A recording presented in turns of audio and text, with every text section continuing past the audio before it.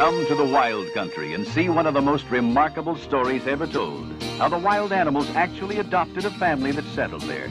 It all happens in the adventures of the Wilderness Family.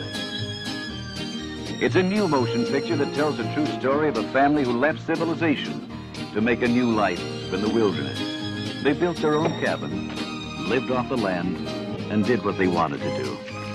Join them as they make friends with all the wild animals of the forest.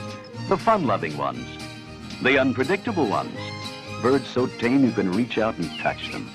Even a black bear who fears no man and shows them open affection. You'll see how man and animal survive by working together in harmony with nature.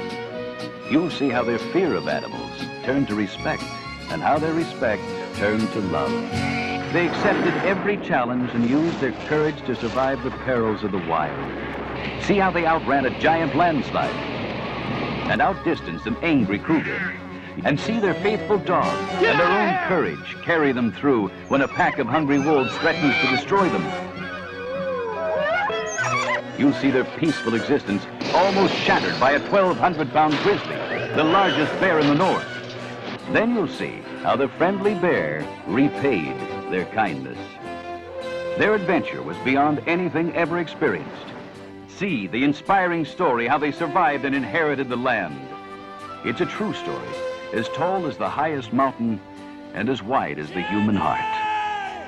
The adventures of the Wilderness Family. An experience you'll always remember. A movie you'll never forget. Rated G. We live together, work, play, sing our song. We found a land where we. This is a life that loves and keeps us free. The Adventures of the Wilderness Family is coming soon to a theater near you. Look for this ad in your newspaper.